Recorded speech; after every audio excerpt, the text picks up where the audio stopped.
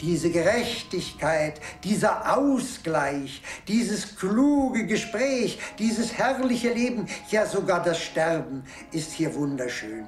Das ist die Welt, wo ich hingehöre. Es war alles hohes Drama.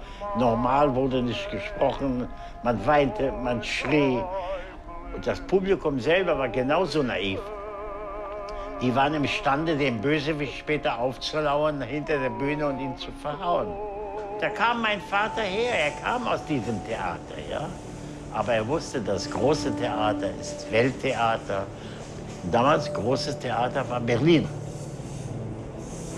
Dort wurde er begrüßt als der König der. Und das ging wie ein Lauffeuer, Granach, Granach, Granach ist hier. Man sieht es ja an den Bildern und man sieht ja an den wenigen Dokumenten, die man hat, dass er eben ein, eine unglaublich intensive und eine unglaublich äh, wirkungsvolle Erscheinung war.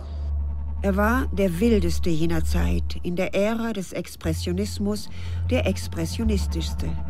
Er stürzte an die Spitze mit Urkraft. Er schaffte es schnell. Und die meisten Schauspieler haben dann erst Karriere hier gemacht, als dann Anti-Nazi-Filme gedreht wurden und äh, spielten dann ironischerweise die Rollen oder die Personen, vor denen sie geflüchtet sind.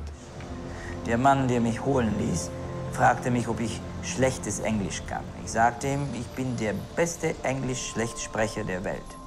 Er lachte und wir hatten gleich Kontakt. Lubitsch engagierte mich am Abend der Premiere und ich kann filmen mit der Greta Garbo. Du siehst, es gibt über jedes Wort tausenderlei zu berichten.